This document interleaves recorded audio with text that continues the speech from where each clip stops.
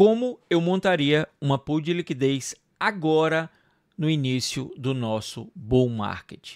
Então vamos lá, nesse vídeo eu vou tentar mostrar para vocês o racional que eu utilizo e praticamente o que devemos fazer para poder ter uma pool agora montada aonde a gente consiga ganhar de duas formas, com a coleta de taxas e com o aumento que o mercado tem a nos proporcionar durante os próximos 12 meses. Então vamos lá para o vídeo que eu vou mostrar para vocês como eu raciocino como eu monto e qual seria a minha ideia a partir de agora. Então vamos lá. Ah, não está inscrito no canal? Inscreva-se no canal, estamos indo rumo a 70 mil inscritos e você tem que fazer parte deste momento incrível aonde mudaremos a vida de muita gente através das informações que a gente passa e orientações educacionais que passamos aqui no nosso canal, ok?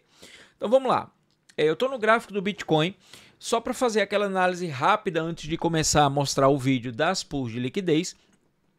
O Bitcoin ele tocou em uma resistência psicológica aqui, que é os 90 mil. Lembrando que sempre que temos um número cheio, 80 mil, 90 mil, 100 mil, existe uma resistência psicológica e automaticamente é, temos um, uma realização de lucro que o mercado necessita fazer para seguir em crescimento em alta, ok? Temos aí expectativa de alvo do Bitcoin praticamente entre os 102 mil e os 156 mil dólares para os próximos 12 meses. Então é só ter paciência e aguardar que o nosso momento vai chegar. Então vamos lá, montar uma pool de liquidez. O que é que eu utilizo primeiro de racional? O que nós devemos fazer a partir de agora que você vai montar uma piscina de liquidez no mercado é escolher. Deixa eu só trocar aqui rapidamente para poder a gente. É, trocando a minha carteira aqui para poder mostrar para vocês mais ou menos alguns detalhes aqui, ok? Espera aí, vamos lá, ok.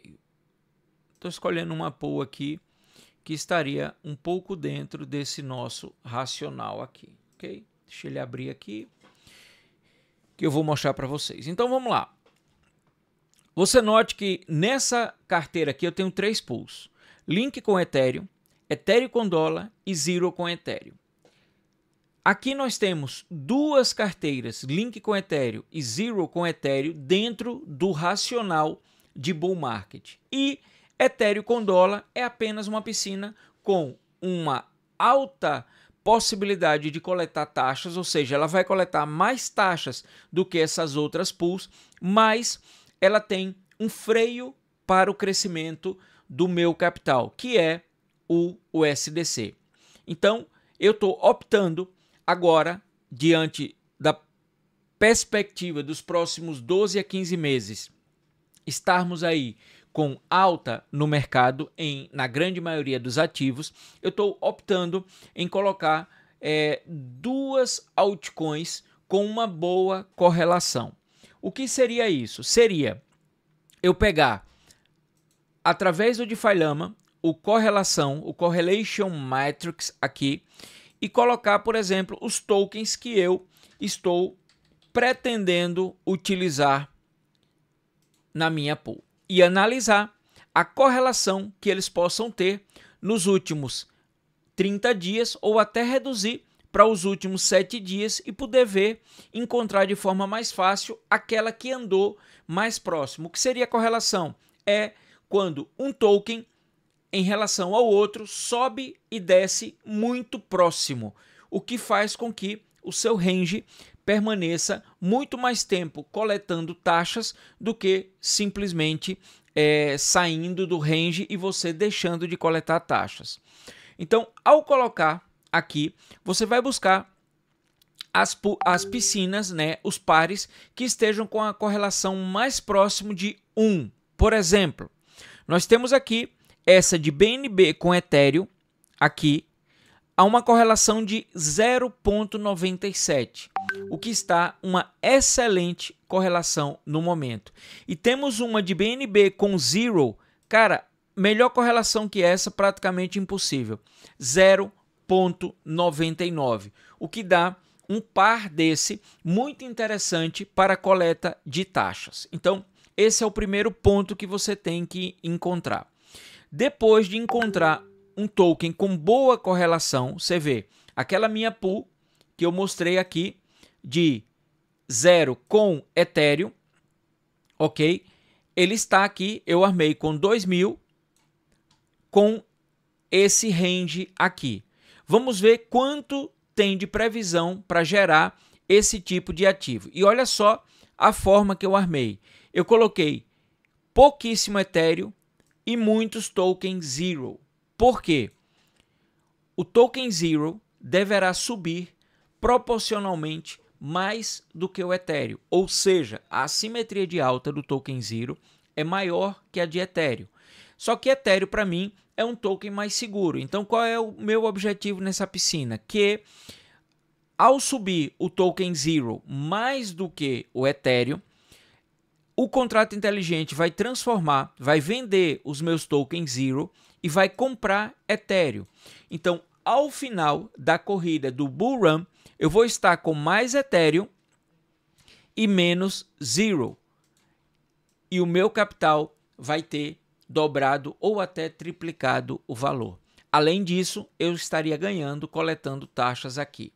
Então, desta forma, eu consigo ganhar de duas formas diferentes: o aumento do meu capital mais as taxas coletadas, que essas taxas eu posso coletar a hora que eu bem entender e pegar esse dinheiro ou reinvestir na minha pool de liquidez ou até comprar outra criptomoeda e colocar em uma carteira de hold, abrir outra pool e fazer juros compostos, ou seja, existem várias formas que a gente tem e a gente estará lá, inclusive já avisando a galera da última turma do Avengers do DeFi, a gente vai estar fazendo a próxima a primeira aula ao vivo de novembro na próxima semana, ok? Durante essa semana eu vou estar deixando a data lá no nosso Discord e também vou estar comunicando em vídeo qual será o dia e a hora da nossa aula ao vivo de novembro, que será na próxima semana. Então já coloque aí que na próxima semana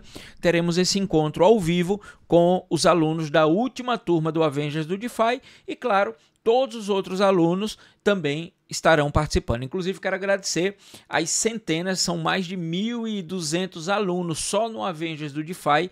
Isso para a gente é altamente reconfortante, porque sabemos que estamos ajudando. Inclusive, dá uma olhada no meu, na minha rede social, no meu Instagram. Eu acabei de postar ontem um testemunho incrível de um aluno aí da última turma do Avengers do DeFi, tá bom? Então vamos lá. Então, diante disso, eu uso essa estratégia. Eu escolho aqui, por exemplo, olha só, Redbase, Brett, que é a meme coin da Redbase. Se eu quero utilizar ela lá na Redbase, eu pego, coloco ela aqui e eu vou buscar aqui Brett. Olha só, Brett com Bitcoin era a melhor, é, é, o melhor par, mas eu tenho Brett com BNB e eu tenho Brett com Ethereum, que não está tão ruim a 0.84 aqui, ok? Tem o Brett com Zero. Só que, por que, que Brett com Zero não é um bom par? Porque pouquíssima gente vai estar tá trocando Brett por Zero ou Zero por Brett. Lembre-se, você tem que unir uma moeda forte, tipo Bitcoin, Ethereum, BNB, Solana, Polygon, uma moeda forte com uma moeda de médio porte. Por quê? As pessoas que têm Ethereum, elas podem querer comprar Brett. As pessoas que têm, é, é, de repente, BNB podem querer comprar Zero. Mas é muito difícil alguém que tem Zero querer comprar Lido, por exemplo, ou querer comprar Ave. É muito difícil. Então elas têm até uma correlação boa, mas não funciona. Vamos dizer aqui, o cara está na rede Polygon e ele quer montar uma pool na rede Polygon. Você tem aqui a linha da rede Polygon. E aqui você vê que a melhor correlação está Polygon com ARB e Polygon com Ethereum. Então, o que significa? A volatilidade é bem menor entre as duas e ela vai ficar mais tempo no range. Então você pode, utilizando a rede Polygon, abrir uma pool de Polygon com Ethereum. E o seu capital irá crescer muito mais do que se você tiver em Polygon com dólar, ok? Quero que vocês deixem um comentário aí se vocês fazem essas pools e qual é o par que você mais gosta, até para que outros possam ver que tem bons pares desses que eu não mencionei aqui, se você utiliza algum par diferente e se está tendo resultado com esse par. Eu quero que você coloque aí nos comentários para a gente poder identificar e até se eu ver que é um par bom, eu vou dar like e vou fazer algum comentário lá para você, tá bom? Então, obrigado aí a todos que estão inscritos no nosso canal, que deixam o like. Tamo junto. Deus abençoe a todos. Amanhã a gente se vê novamente com mais um vídeo aqui no nosso canal.